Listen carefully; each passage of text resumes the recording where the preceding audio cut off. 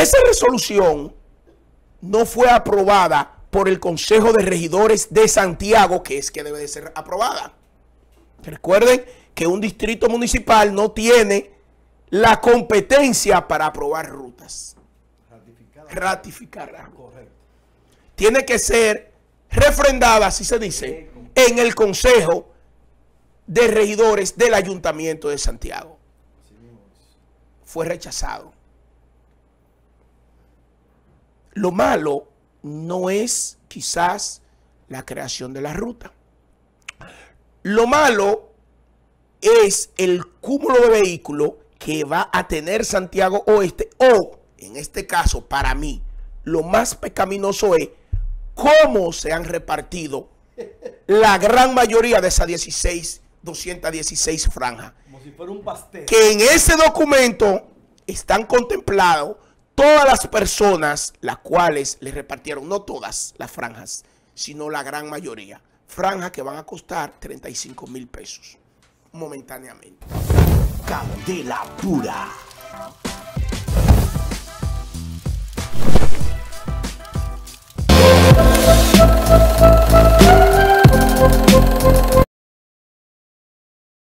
Señores, muy buenos días.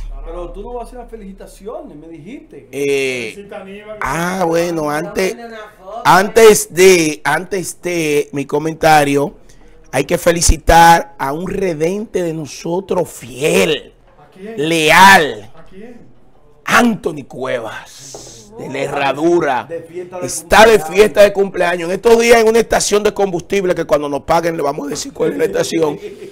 Sí. Me dice, José, digo yo, dime. Candela pura, digo yo, ¿y tú quién eres? Anthony Cuevas. ¡Ay, Anthony Cuevas! Anthony Cuevas, No, muchísimas este no felicidades. No, ese es Aníbal Acevedo, Ese Aníbal. que está de fiesta de cumpleaños. Mi- Mira lo que, mira lo que dice, mira lo que dice, ma- eh, mi- mira lo que dice aquí una re- una redente. Moisés, hola Moisés, ¿cómo va todo? ¿Cómo? Déjame ver lo que dice una redente aquí, Verónica, me, me- me- Verónica Media. Buen día, bendiciones, en especial para mi diputada. Especifica cuál es, Verónica, porque aquí hay dos mujeres. Yo quiero entender a quién es, pero si cometo la indiscreción y después no es. Pero nada, señores. Muy buenos días a todos ustedes. Miren. Atención con lo que yo voy a decir ahora. Y me voy a tomar un vaso de agua. Atención. En lo que usted se toma ese vaso de agua. Te puedo enviar la foto de Anthony Cuevas para que tú la pongas ahí. Pero a un redente, a un redente nunca se le niega un, un- Ma- un- un espacio aquí en Ah, Candela Pura. Ahí está, eh, señor director en, en audiovisuales. Un redente. la foto de Anthony Cuevas. Los redentes, los televidentes, es Son los dueños la razón por la cual nosotros nos levantamos todos los días a brindarle las informaciones y Así para mismo. nosotros son sagrados. Ahí está. Ese sí es Anthony Cuevas que está de fiesta de cumpleaños. De la herradura. Se parece, amigo, se parece, amigo. Parece el asistente de la doña. Parece un pelotero. El Felici- hombre. ¿eh? Felicidades, Anthony. Candela Pura te felicita. Adelante. Miren, yo iba a hablar, mi comentario va a ser breve porque ya casi tenemos la alcaldesa acá. Yo iba a hablar de la irresponsabilidad de presupuestaria en educación. Porque es una irresponsabilidad. ¿Por qué yo digo que es una irresponsabilidad? Y ahí me voy a tomar un minuto. Los ministerios y las direcciones generales, para que le aprueben un presupuesto, tienen que enviar un desglose diciendo en qué van a invertir ese presupuesto de ese año. Si bien es cierto que los presupuestos sufren modificaciones en el camino dependiendo la situación que puedan encontrar en el país, no es menos cierto que usted debe de decir en qué lo va a gastar. Para mí, constituye un acto de irresponsabilidad mayúscula que a menos de tres meses de terminarse el año, el Ministerio de Educación se despache diciendo que no tiene en qué invertir el dinero. Es, las- es lastimoso con tanta necesidad o tantas necesidades que tiene el pueblo dominicano en materia de educación, que hoy no sepamos en qué invertir el 4%. Un 4% que la sociedad lo reclamó, que la sociedad fue partícipe de ese logro que el presidente Danilo Medina materializó luego de llegar a la presidencia porque se comprometió con el pueblo dominicano. Le tocó al presidente Danilo Medina. Pero es un logro, una conquista del pueblo, una irresponsabilidad. Ahora bien, ese tema ya luego lo vamos a tratar más detenidamente, aunque ya quedó sin efecto. Bueno, atención al plan estratégico de Santiago, con lo que yo voy a decir ahora. Mis buenos amigos del plan estratégico de Santiago, personas que fueron mi maestro de, maestría en la Pucamaima, persona que tengo años conociéndola y persona con mucha capacidad. Yo he dicho que sin el plan estratégico de Santiago, quizás Santiago no fuera lo que hoy es.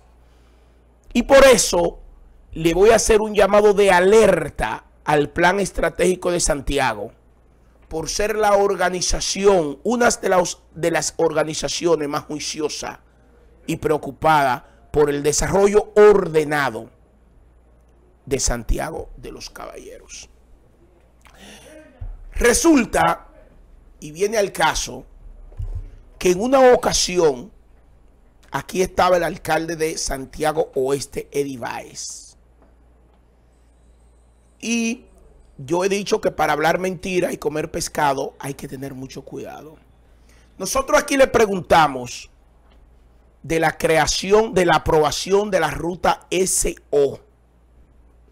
Nosotros le preguntamos. Él dijo que fue el consejo de regidores del ayuntamiento que lo había aprobado.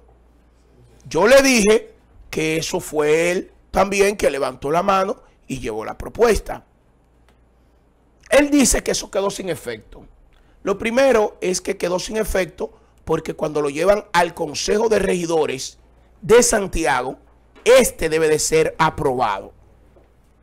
Ahí está la resolución, que yo no se la quise mostrar ese día, pero la tengo. Ahí está la resolución donde indica la aprobación de 216 nuevas franjas para Santiago Oeste con la ruta SO, que se lo dijimos acá. Ponme en doble pantalla y déjame la resolución ahí. Esa resolución no fue aprobada por el Consejo de Regidores de Santiago, que es que debe de ser aprobada. Recuerden que un distrito municipal no tiene la competencia para aprobar rutas. Ratificarla. Tiene que ser refrendada, así se dice, en el Consejo de Regidores del Ayuntamiento de Santiago. Fue rechazado. Lo malo no es quizás la creación de la ruta.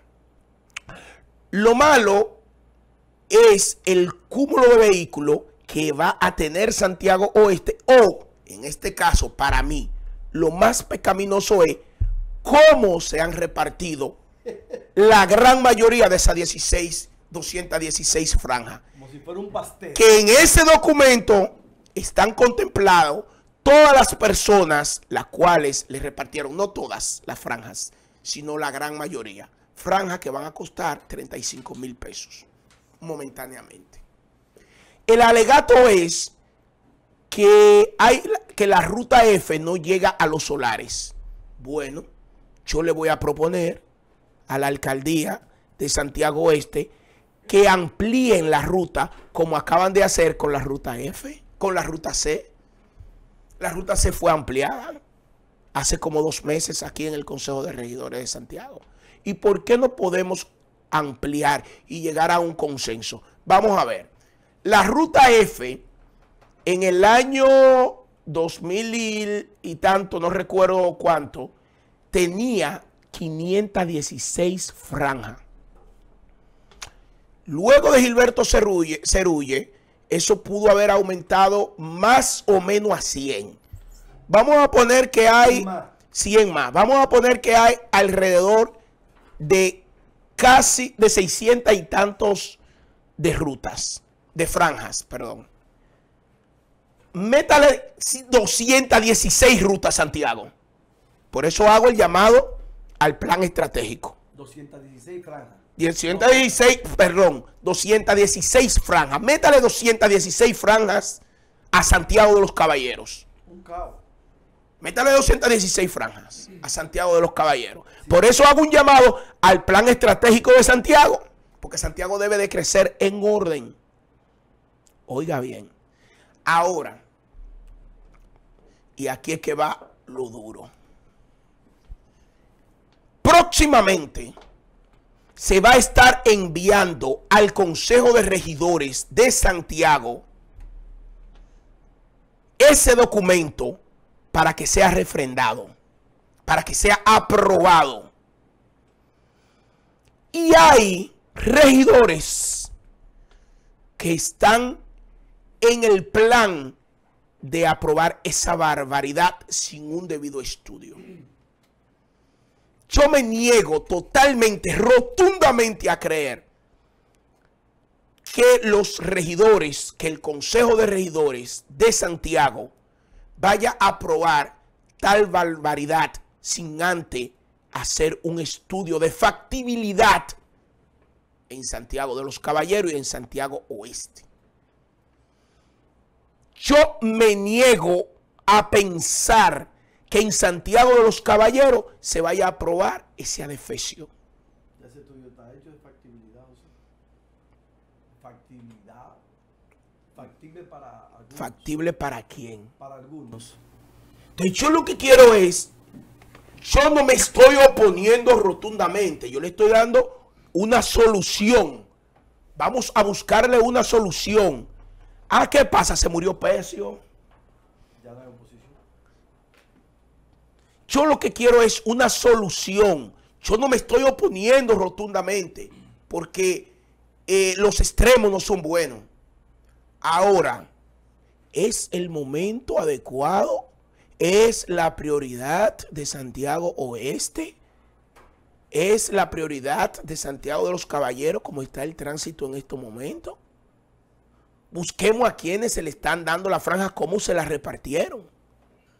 Entonces no puede ser que eso sea como un pastel, que cada quien tenga un pedacito y hay que darle un pedacito. Por lo que yo hago un llamado al Consejo de Regidores de Santiago a que cuando eso llegue, lo estudien y miren la factibilidad de aprobar eso o no. De manera que la bola está en su cancha. Ustedes sabrán lo que le conviene a Cienfuegos, a Santiago Oeste, y ustedes sabrán estudiar lo que le conviene a Santiago de los Caballeros en sentido general. Avancemos.